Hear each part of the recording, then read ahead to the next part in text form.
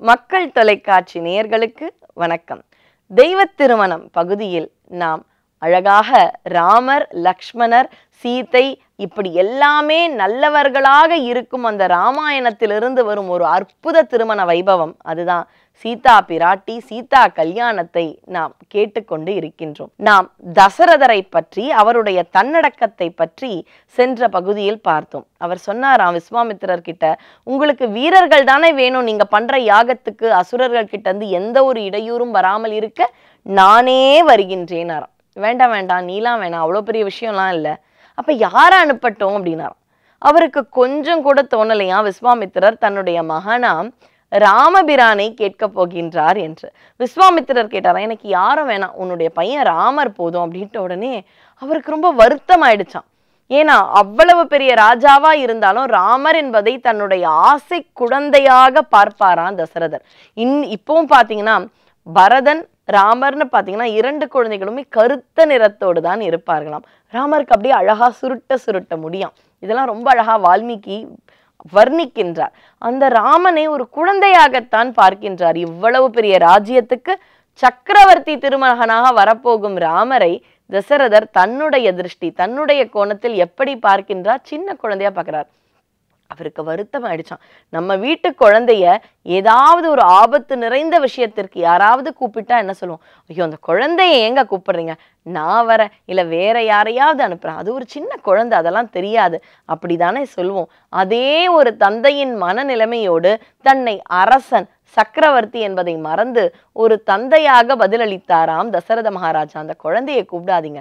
வேற யாரையாவது கேளுங்க. இல்ல நான் சொன்ன மாதிரி நான் வரேன் அப்படின்னாராம். ஆனா விஸ்வாமித்திரர் கண்ணுக்கு மட்டும் அந்த ராமபிரான் குழந்தையாக தெரியவில்லை. அவன்தான் பரபிரம்மம் அவன்தான் தெய்வம் என்பதை அழகாக உணர்ந்த விஸ்வாமித்திரர். நீ எதுவுமே பயப்படாத.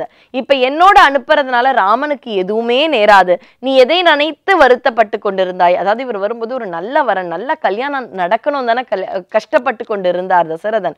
அதை ரொம்ப அழகா சொல்றாராம். நீ எதை நினைத்து கஷ்டப்பட்டு கொண்டிருந்தாயோ இந்த தீர செயல் புரிந்தவுடனே அந்த காரியம் மங்களமாக நிறைவு பெறும் அப்படின்ற வாக்கையும் நான் தருகின்றேன் தசரதா அப்படின்னு சொல்றாராம் விஸ்வாமித்திரர்.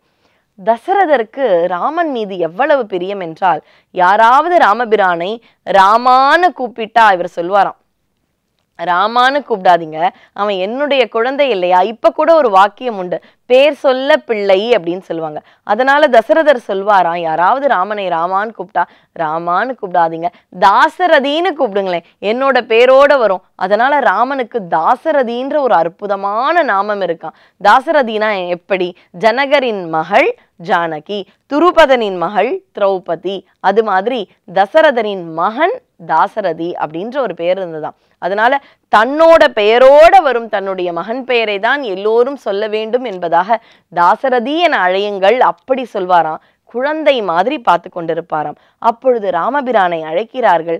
ராமபிரான் வந்தவுடனே ஒரு க்ஷண நேரம் பார்த்தீங்கன்னா விஸ்வாமித்ரன் ராமருடைய அந்த தேஜஸ் ராமருடைய அழகு கம்பீரம் நீண்ட தோள்கள் நீண்ட கைகள் அதையெல்லாம் பார்த்து ஒரு நிமிடம் அவரே மயங்கி விட்டாராம். அந்த ராமபிரான் காட்டில் தூங்கும் அழகை கண்டுதான் விஸ்வாமித்ரர் சொல்றாராம் கௌசல்யா சுப்ரஜா அப்படின்னு சொல்லிட்டு ரொம்ப அழகா ஒரு சுப்ரபாதம் இருக்கு இல்லையா? அது கௌசல்யின் மகனான ராமனே தாமரை போன்ற கண்களை உடைய ராமனே அப்படின்னு அவ்வளவு அழகா ரசித்து பார்த்ததினால் வந்த ஒரு வாக்கியம்தான் கௌசல்யா சுப்ரஜா ராம பூர்வா அப்படின்ற அந்த வாக்கியமே வந்துதான். இப்படியாக ஒரு பெண்ணென நினைத்து முனிவராக இருந்த ராஜரிஷியாக இருந்த விஸ்வாமித்திரர் ராமனுடைய அந்த கருத்த அழகினை கண்ட உடனே ஒரு நிமிஷம் மயங்கிட்டாராம். அவருக்கு தெரிந்து விட்டது. முக்காலமும் உணர்ந்தவர் அல்லவா? அதனால அவருக்கு ரொம்ப நன்றாக தெரிந்தது. அவன் ஒரு பரபிரமம் தன்னால் தான் பூர்வ ஜென்மத்தில் இருந்த மகாவிஷ்ணுவையும் மகாலட்சுமியையும் இப்பொழுது சீதா பிராட்டி ராமராக வந்திருப்பவர்களை சேர்க்கும் அந்த ஒரு வைபவம் அந்த ஒரு பாக்கியம் தனக்கு வேண்டும் என்பதால் மறுபடியும் தசரதர் கிட்ட சொல்றாராம். அதெல்லாம் இல்லை. உங்களுடைய மகனாம் ராமன் வந்து ரொம்ப வீரமிக்கவன். அவனை என்னோடு அனுப்புங்கள் அப்படின்னு சொல்கிறாராம் மனசே இல்லையா? யாருக்கு? தசரதருக்கு. ஏன்? தசரதரை பொறுத்தவரை ராமபிரான் ஒரு சின்ன குழந்தை. ஆனால் அந்த தருணத்தில் தான் முதல் முதலில் ராமரோடு ராமரை ஒரு க்ஷணமும் பிரியாமல் இருக்கும் லக்ஷ்மணன் கூட வர ஆரம்பிச்சாராம். அதாவது சுமித்திரைக்கு இரண்டு குழந்தைகள். ஒரு குழந்தை லக்ஷ்மணன். அந்த லக்ஷ்மணன் யாருக்கு சேவகம் பண்ணுவாராம்?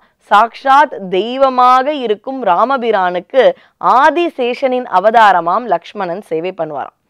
பரதனுக்கு சேவை பண்றதுக்கு சத்ருக்கணனாம் ஆனா இந்த இரண்டு சேவகர்கள் லக்ஷ்மணன் உயர்வா சத்ருக்கணன் உயர்வா அப்படின்னு பார்த்தா ஞானியர்கள் சொல்கிறார்கள் சத்ருக்கணன் தான் உயர்வன். நமக்கு உடனே சந்தேகம் வரும். எப்படி ராமருக்கே எப்பொழுதும் சேவகம் செய்யும் லக்ஷ்மணனை விடவா இந்த சத்ருக்கனன் உயர்வானவன்? அவர் சாக்ஷாத் மகாவிஷ்ணு ராமபிரானுக்கே லக்ஷ்மணன் சேவை செய்கிறாரே எப்படி சத்ருக்கனன் உயர்வானவர் ஆவார்? அப்படின்ற சந்தேகம் நமக்கு வரும் இல்லையா? இப்ப இதுல தான் ஒரு அழகான சூக்ஷமம் இருக்கின்றது. பரதன் யார் அப்படின்னு பாத்தீங்கன்னா பரதன் வந்து சிறந்த ராம பக்தராம் அண்ணன் என்பதை காட்டிலும் ராம பக்தி என்பது பரதனுக்கு மிகுதியாகவே இருக்குமாம். அப்படி சிறந்த பக்தனான பரதனுக்கு சேவை செய்வதால் சத்ருக்கனன் லக்ஷ்மணனை விட சிறந்தவனானான். எப்படி? அதாவது இறைவனுக்கு சேவை செய்வதை காட்டிலும் இறைவனுடைய பக்தர்களுக்கு சேவை செய்வதுதான் மிகப்பெரிய விஷயமா. அதனாலதான் இறைவனான ராமனுக்கு சேவை காண்பிக்கும் சேவை செய்யும் லக்ஷ்மணனை காட்டிலும் இறைவனுக்கு அனுகூல தொண்டனாக இருக்கும் பரதனுக்கு சேவை செய்யும் சத்ருக்கனன் மிகப்பெரியவனாம் இப்படி இரண்டு செல்வர்களையும் சுமித்திரை சேவை செய்வதற்கெனே பெற்றெடுத்திருந்தாள். அவள் தன்னுடைய லக்ஷ்மணனை ராமனை பின்தொடர எத்தனித்தாள். ராமபிரானோடு லக்ஷ்மணனும் வில்லேந்தி நின்றார்கள்.